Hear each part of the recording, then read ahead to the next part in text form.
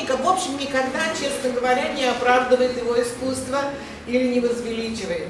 Биография остается биографией, а главным в жизни художника становится само искусство и то, что он создал. А поэтому школы бывают разные. Андрей как-то удивительно сумел в этой достаточно сложной и суетной, и жестокой жизни, в общем, найти свою нишу. Пройдя вот этот, ну, сложный путь в твоем творчестве, ты приобрел статус классика, и никуда от этого не деться.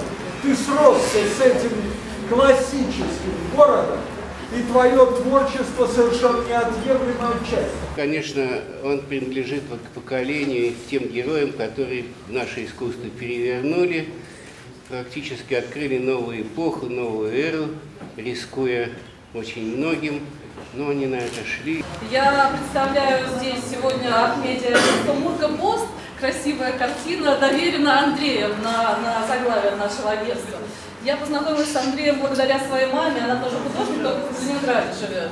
И я так счастлива этому знакомству. И э, так, почему я сказала про медиагентство, мне кажется, что сейчас здесь больше все-таки профессиональных зрителей, художников, э, людей, приближенных к искусству.